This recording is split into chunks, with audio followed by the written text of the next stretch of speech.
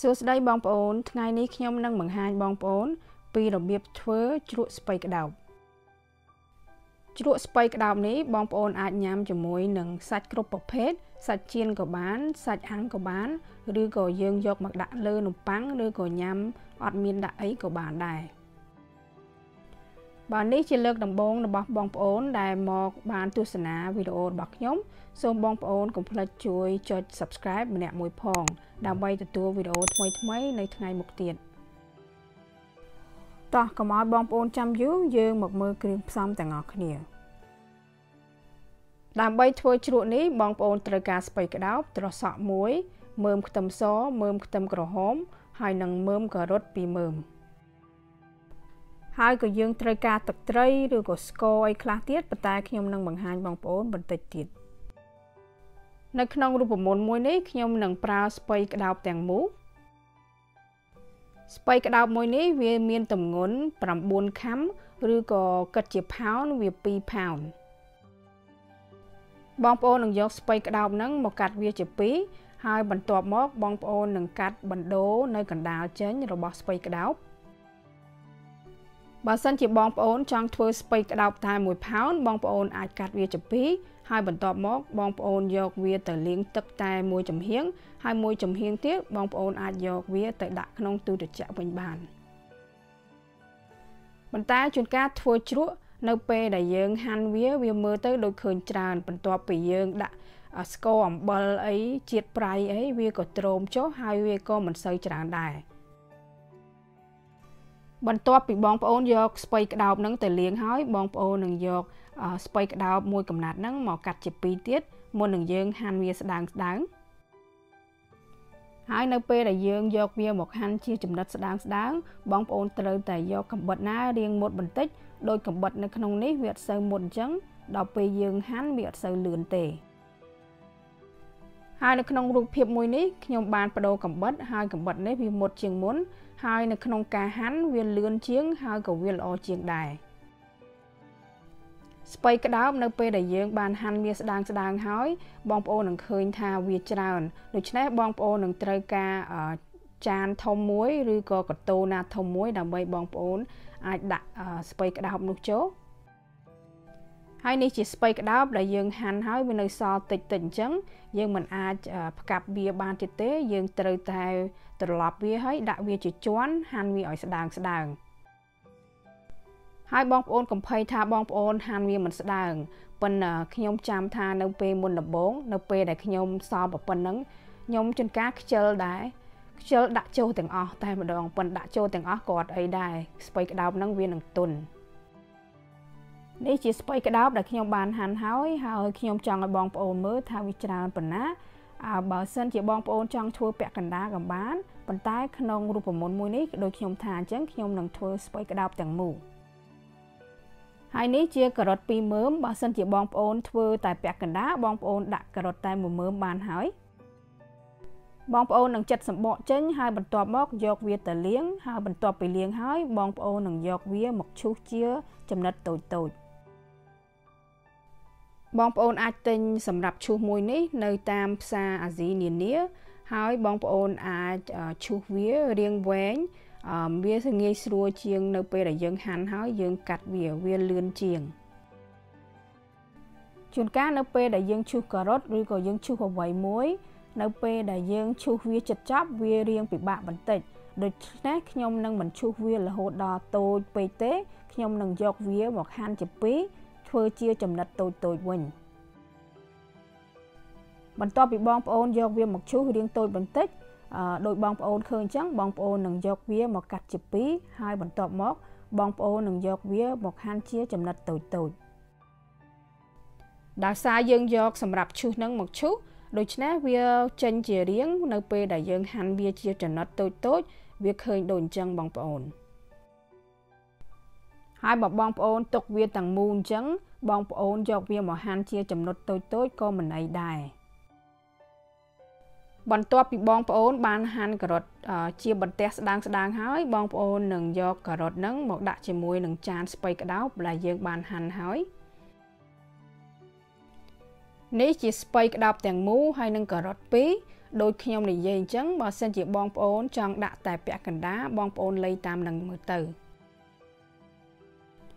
ហើយដើម្បីឲ្យស្ពៃក្តោបវារាងទន់ហើយនឹងទ្រោមចុះបន្តិចបងប្អូននឹងដាក់អំបិល2ស្លាបព្រាកាហ្វេហើយបន្ទាប់ពីបងប្អូន បានដាក់អំបិលចូលហើយបងប្អូននឹងយកដៃទៅច្របាច់វាឲ្យវារាងទន់បន្ទាប់ពីយើងច្របាច់វាចំនួន2នាទីហើយស្ពៃក្តោបហ្នឹងវានឹងទន់ហើយវានឹងទ្រោមចុះ ហើយនៅក្នុងរូបភាពបន្តិចចិត្តនេះបងប្អូននឹងឃើញថាវារាងទ្រោមចុះហើយបន្ទាប់មកបងប្អូននឹងទុកវាចោលមួយអន្លែងសិនហើយនេះបន្ទាប់ពី2នាទីដែលយើងយកដៃទៅច្របល់វាវារាងទ្រោមអញ្ចឹងនៅក្នុងរូបមន្តមួយនេះខ្ញុំប្រើត្រសក់ធំមួយទម្ងន់វាប្រហែលជា3ខាំបងប្អូននឹងយកវាមកហាន់ជាកង់កង់ប្រហែលជា2ថ្នាំងដៃ ហើយបើបងប្អូនចង់ហាន់វារាងវែងជាងហ្នឹងក៏បានដែរហើយបន្ទាប់មកបងប្អូននឹងយកវាមកកាត់ជាពីរហើយបន្ទាប់មកបងប្អូននឹងយកវាមកហាន់វាជាចំណិតចំណិតហើយពីកម្រាស់របស់វាបងប្អូនអាចហាន់ស្ដើងឬក៏រាងក្រាស់បន្តិចតាមបងប្អូនចូលចិត្តបងប្អូននឹងយកវាមកដាក់នៅក្នុងចាននឹងមួយអន្លែងសិន ហើយបន្ទាប់មកខ្ញុំនឹងបង្ហាញបងប្អូន ពីរបៀបលាយទឹកត្រីហើយនឹងហាន់ខ្ទឹមសខ្ទឹមក្រហមមើមខ្ទឹមសខ្ញុំប្រើចំនួន6កំពឹសហាន់វាជាបន្ទះស្ដើងស្ដើងហើយនេះជាខ្ទឹមក្រហមបងប្អូននឹងកាត់វាកុំឲ្យវាដាច់ចេញពីគ្នា ហើយបន្ទាប់មកបងប្អូននឹងយកវាមកហាន់វាជាបន្ទះស្ដើងស្ដើងដែរ ខ្ញុំប្រើម្ទេសតែមួយទេប៉ុន្តែបងប្អូនអាចដាក់ច្រើនជាងនឹងក៏បានដែរឥឡូវយើងមកលាយទឹកត្រីទាំងអស់គ្នានេះជាទឹកត្រី1ភាគ4ក្នុង1ពែងឬក៏4ស្លាបព្រាបាយ60មីលីលីត្រទឹកខ្មេះចំនួន5ស្លាបព្រាបាយហើយនេះជាខ្ទឹមសហើយនិងខ្ទឹមក្រហមនិងម្ទេសបងប្អូននឹងចាក់វាចូលទាំងអស់ បើសិនជាបងប្អូនមិនចង់ឲ្យខ្ទឹមសខ្ទឹមក្រហមហ្នឹងវាហាងពេកបងប្អូនអាចចាក់ចូលនៅពេលដែលយើងលាយទឹកត្រីហើយនិងទឹកខ្មេះជាមួយគ្នាប៉ុន្តែបើបងប្អូនចូលចិត្តក្លិនខ្ទឹមនឹងខ្លាំងបងប្អូនដាក់ពេលណាក៏បានដែរបងប្អូននឹងកូរវាទុកចោលចំនួន1នាទីហើយបន្ទាប់មកបងប្អូននឹងចាក់ទឹកហើយនឹងស្ករចូល នេះជាទឹកមួយពែងឬក៏ស្មើនឹង240មីលីលីត្រស្ករកន្លះពែងឬក៏1ខាំហើយបន្ទាប់ពីបងប្អូនដាក់ទឹកហើយនឹងស្ករចូលគ្នាហើយបងប្អូននឹងកូរឲ្យវារលាយស្ករហើយខ្ញុំភ្លេចប្រាប់ទឹកដែលខ្ញុំដាក់ហ្នឹងទឹកហ្នឹងវាខ្ញុំដាំវាពុះហើយទុកវាចោលដូច្នេះទឹកហ្នឹងអត់ក្តៅទេ វិធីដែលខ្ញុំបង្ហាញបងប្អូន បងប្អូនមិនត្រូវការយកស្ពៃក្តោបហ្នឹងទៅលាងយកជាតិអំបិលចេញទេខ្ញុំដាក់អំបិលចូលមកល្មមដើម្បីឲ្យវាប្រៃសមល្មមជាមួយនឹងទឹកត្រីដែលយើងនឹងចាក់ចូលវិធីនេះវាងាយស្រួលហើយវាមិនរញ៉េរញ៉ៃផងហើយបន្ទាប់មកបងប្អូននឹងចាក់ទឹកត្រីចូលទាំងអស់ បើសិនជាបងប្អូនចង់ធ្វើស្ពៃក្តោបតែពាក់កណ្ដាលឬក៏តែ1ផោនបងប្អូនអាចលាយទឹកត្រីដូចគ្នា ហើយបន្ទាប់មកចាក់ចូលតែពាក់កណ្ដាលហើយទុកពាក់កណ្ដាលទៀតដើម្បីធ្វើស្ពៃជ្រក់នៅថ្ងៃក្រោយហើយនេះជាចំណិតត្រសក់ដែលយើងបានហាន់ហើយបងប្អូននឹងចាក់វាចូលទាំងអស់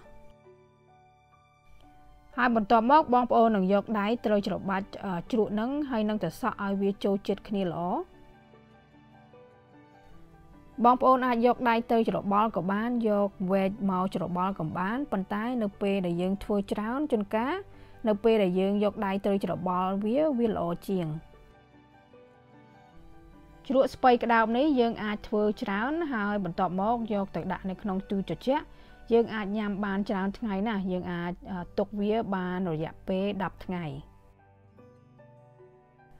បើផ្ទះខ្ញុំវិញធ្វើហើយប្រហែលជា4ថ្ងៃញ៉ាំអស់លេងហហើយតាមរូបមន្តមួយនេះបើសិនជាបងប្អូនចូលចិត្តរសជាតិផ្សេងទៀតឬក៏ផ្អែមឬក៏ជូរជាងនឹងបន្តិចបងប្អូនអាចដាក់ទឹកខ្មេះមួយសាព្រាបាយទៀតឬក៏ដាក់តាមចំណងចំណូលចិត្តរបស់បងប្អូនប៉ុន្តែបើបងប្អូនចូលចិត្តរសជាតិមួយនេះបងប្អូនមិនបាច់ថែមអ្វីទៀតទេ ឥឡូវវិធីធ្វើជ្រក់ស្ពៃក្តោបវាបានចប់ហើយដូច្នេះបើបងប្អូនចូលចិត្តវីដេអូមួយនេះបងប្អូនកុំភ្លេចជួយ like ហើយនិង share ជាមួយបងប្អូនទាំងអស់គ្នាហើយបើនេះជាលើកដំបូងដែលបងប្អូនបានទស្សនាវីដេអូរបស់ខ្ញុំសូមបងប្អូនកុំភ្លេចជួយចុច subscribe ម្នាក់មួយផង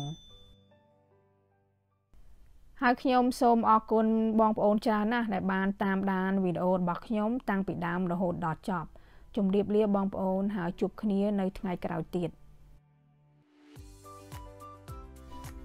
ប្រសិនបើបងប្អូនចង់រៀនធ្វើណែមប្រហិតសាច់ជ្រូកមួយនេះបងប្អូនកុំភ្លេចតាមដាននៅវីដេអូថ្មីរបស់ខ្ញុំបន្ទាប់ពីវីដេអូជ្រក់ស្ពៃក្តោបមួយនេះ